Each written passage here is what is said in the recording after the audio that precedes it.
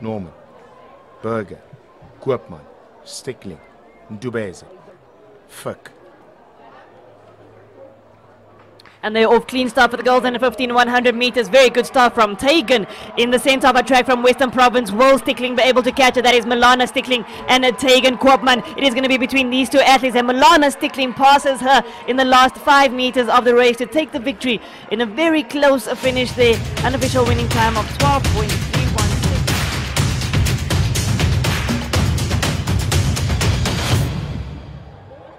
And they're off clean start for the boys in a 15 100 meter final.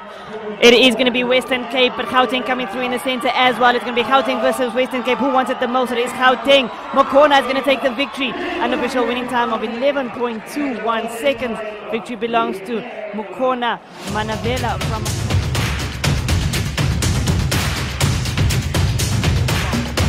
Schmidt is team. It goes to Zambia.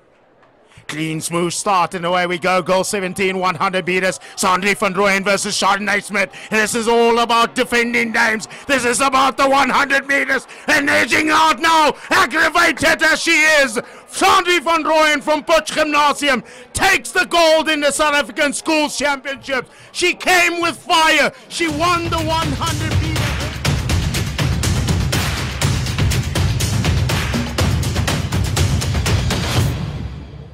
Well, it's a clean start, boys. 17, 100 meters there. Timosho Masikane lifting his knees aloft. It's going to be Steven Sabino. What's the clock and what's the time? It's Sabino and Gezwalaza 10 5 8. A brilliant race there. Welcome back, Steven Sabino, after a long time of injury.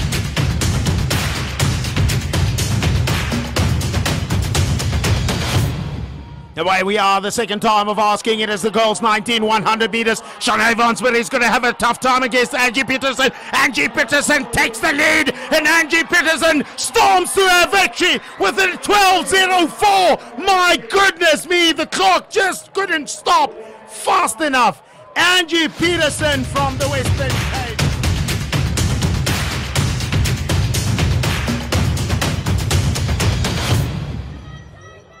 Start for the boys. Unfortunately, a stumble in lane number one. That is Mbuyelo Ricotto. But the rest of the guys has to go on. It is going to be our Gauteng athlete, Matthew van Rooyen. Looks very strong, but also on his inside, Neo Modibe gets the victory in an unofficial winning time of 10.51 seconds. What inning. Ricotto Mbuyelo falling and stumbling out of his box.